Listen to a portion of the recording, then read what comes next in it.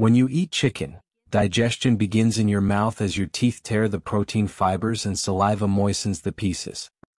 The chicken travels down the esophagus through smooth muscle contractions called peristalsis. In the stomach, powerful acids and enzymes break down chicken proteins into smaller pieces. In the small intestine, enzymes turn the protein into amino acids, which enter your bloodstream. These amino acids help your body repair tissue, build muscle, support your immune system, and keep you strong. These amino acids help your body repair tissue, build muscle, support your immune system, and keep you strong.